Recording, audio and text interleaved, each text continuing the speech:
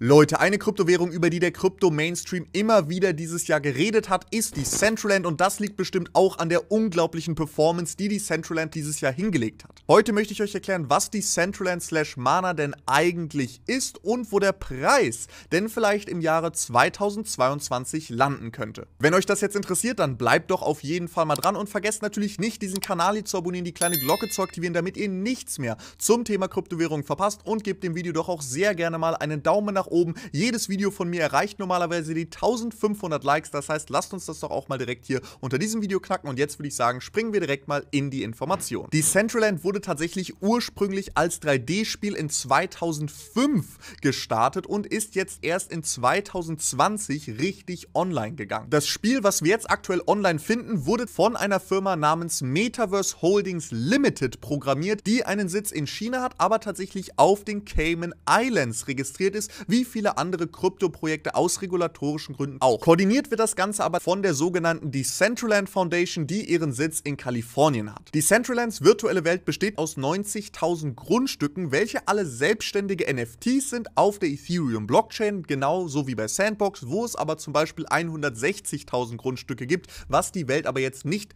direkt viel größer macht, denn es kommt natürlich auf die Grundstücksgröße an. Es gibt tatsächlich drei verschiedene Grundstücksarten in Decentraland. Es gibt einmal Anwesen, dann gibt es ganze Bezirke. Diese Bezirke haben dann alle dasselbe Theme, das heißt dasselbe Thema. Und es gibt auch noch Plätze, die mehr oder weniger als Hubs, also wie öffentliche Plätze fungieren. Diese können aber nicht gehandelt werden, denn die sollen sozusagen von Decentraland für die gesamte Community sein. Das heißt, diese Plätze kann man nicht handeln, so wie jetzt zum Beispiel ein Anwesen in Decentraland. Und da Decentraland natürlich auch eine Real Money Market Economy hat, wie ihr gerade schon erfahren habt, dadurch, dass man ja Grundstücke verkaufen und kaufen kann, ist es so, dass Decentraland auch einen hauseigenen NFT Marketplace hat, denn natürlich sind diese ganzen Ingame Assets, die es in Decentraland gibt, wie zum Beispiel die Grundstücke natürlich NFTs und man kann auch noch andere Sachen auf diesem Marktplatz kaufen und verkaufen und zwar Sachen wie Kleidungsstücke, Skins, Namen und andere Ingame-Avatare zum Beispiel für den Charakter, den man in Decentraland spielt. Natürlich bietet Decentraland auch die Möglichkeit, dass sobald man ein Anwesen oder ein Grundstück generell besitzt, dass man dieses auch mit dem Decentraland Bilder verändern kann. Das heißt, man kann sozusagen sein Grundstück komplett selbst gestalten,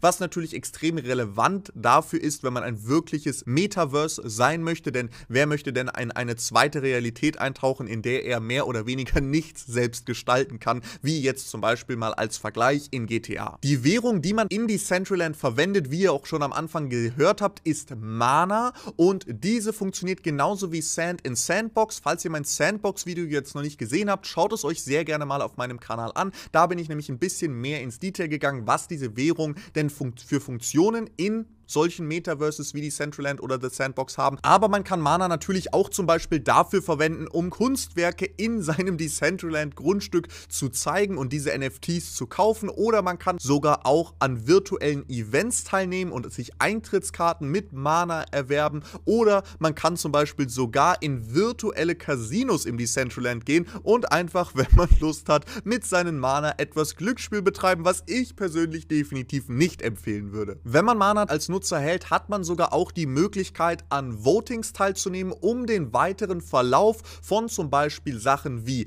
Marktplatzgebühren oder die Anpassung von Grundstücksparametern des gesamten Decentraland, kann man als Mana-Besitzer auch an diesen Abstimmungen teilnehmen und somit einen direkten Einfluss auch auf das Spiel und die Zukunft des Spiels nehmen. Viele wissen es vielleicht gar nicht, aber die Centraland hat tatsächlich bereits in 2017 einen ICO abgehalten und insgesamt 52 Millionen Dollar gesammelt. Das ist jetzt vielleicht im ersten Moment überraschend, weil die meisten ICOs, die wir ja in 2017 gesehen haben, die gibt es jetzt nicht mehr, aber Glückwunsch an jeden, der bei Decentraland beim ICO mitgemacht hat, denn damit hat man sich auf jeden Fall einiges an zusätzlichem Kryptoportfolio in den letzten Jahren aufgebaut, wenn man seine Mana einfach gehalten hat. Grundsätzlich haben in Decentraland tatsächlich größere VCs und auch namenhafte Unternehmen investiert, wie zum Beispiel Digital Currency Group, sagt einigen vielleicht etwas als Investor bei größeren Krypto-Projekten oder auch zum Beispiel Genesis One Capital. Es gab aber tatsächlich auch ganz viele normale Leute, die dann eben einfach Kapital zur Verfügung gestellt haben, indem sie eben bei diesem ICO in 2017 mitgewirkt haben.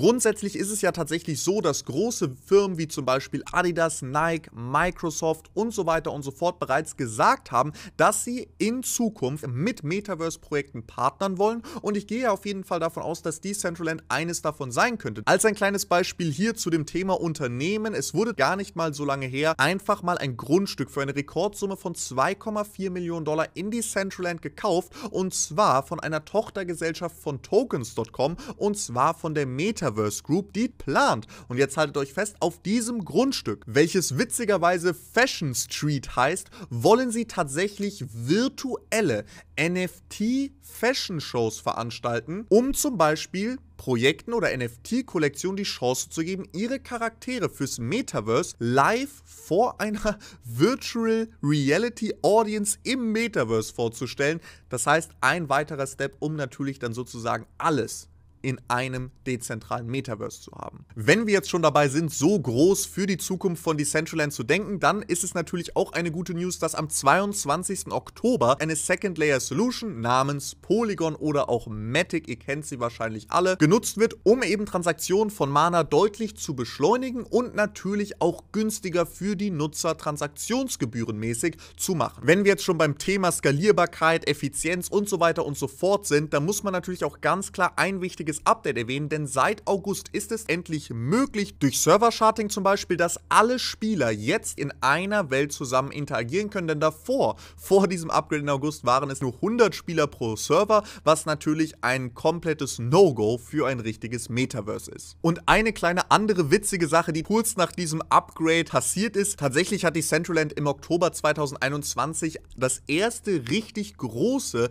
Metaverse Festival veranstaltet, wo es zum Beispiel Gäste wie Deadmau5 gab, den bekannten DJ, oder Paris Hilton, die ja auch ein wenig im Crypto-Space unterwegs ist, und viele weitere prominente Gäste, die da bei diesem virtuellen Festival im Oktober im Decentraland teilgenommen haben. Da ihr jetzt ein allgemeines Overview über Decentraland habt, lasst mich doch jetzt direkt mal in den Chart springen, denn viele von euch interessiert natürlich auch, wo es denn mit dem Kurs von Decentraland im nächsten Jahr 2022 hingehen könnte. Eine wichtige Sache, die ich hier jetzt noch erwähnen wollte, ist, dass ich gleich auch noch nach der Chartanalyse auf ein paar negative Negativpunkte zu Decentraland eingehen werde, um natürlich sicherzustellen, dass ihr wirklich eine komplett neutrale Sicht hier auf das Projekt bekommt und danach selbst entscheiden könnt, wie ihr die Zukunft von diesem Projekt euch vorstellt. Decentraland befindet sich seit einiger Zeit hier in diesem Falling Broadening Wedge und ein Falling Broadening Wedge ist definitiv in der Form, wie, wir es hier gerade auffinden, ein bullisches Pattern, entweder ein Reversal Pattern oder ein Continuation Pattern. In diesem Fall wäre es definitiv ein Continuation Pattern, denn Decentraland befindet sich ja hier in diesem absolut brutalen Preisanstieg. Jetzt muss man natürlich sagen, bei Decentraland ist es so, dass wir hier noch ein paar Tage definitiv warten müssten, bis dieses Breakout möglicherweise passiert und wenn wir hier rejected werden, dann ist es natürlich auch so, dass wir sogar nochmal eine größere Korrektur bei Decentraland erleben könnten, aber das hängt natürlich einfach auch ein bisschen davon ab, was der Bitcoin-Preis jetzt macht.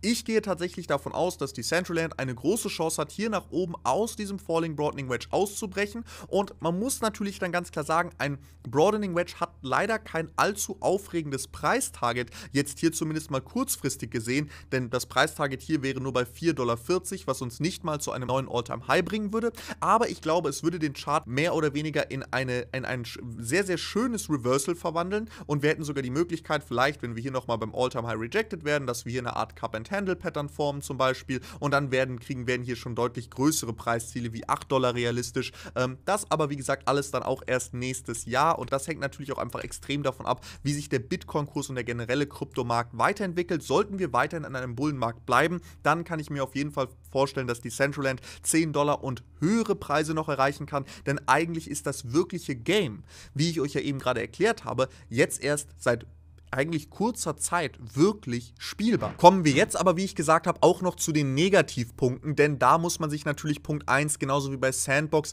im Hinterkopf behalten, dass nächstes Jahr im Juni, June 2022, also im Juni 2022, neue Regulatoren kommen werden oder neue Regulierungen kommen werden. Kommt natürlich drauf an, in welchem Land und so weiter und so fort. Trotzdem, und das würde bedeuten, dass man, um an einer Real Money Market Economy teilzunehmen, einen KYC ausführen müsste, was natürlich für solche Spiele definitiv zu einem kleineren Problem führen könnte. Ein weiterer Punkt, der zumindest bei Decentraland natürlich einen Angriff für Regulatoren bieten würde, ist definitiv der Glücksspielpart. Unreguliertes Glücksspiel in einem dezentralen Metaverse auf Basis von Kryptowährung ist jetzt vielleicht nicht das Beste, wenn es darum geht, wenn man tatsächlich aus der Schusslinie von Regulatoren und Regulatorien in, äh, generell sein möchte. Viel mehr Negativpunkte gibt es bei Decentraland aber gar nicht. Das Einzige, was man natürlich noch erwähnen sollte, ist, dass der Metaverse-Space vor allen Dingen im Kryptobereich extrem competitive ist. Das heißt, es kommen natürlich immer wieder neue Spiele und es kommen natürlich auch immer wieder neue Metaverse raus. Und aus diesem Grund sollte man natürlich gucken, dass man nicht den Anschluss verliert, wenn man in solche Metaverse-Projekte investiert ist. Denn es könnte jederzeit sein,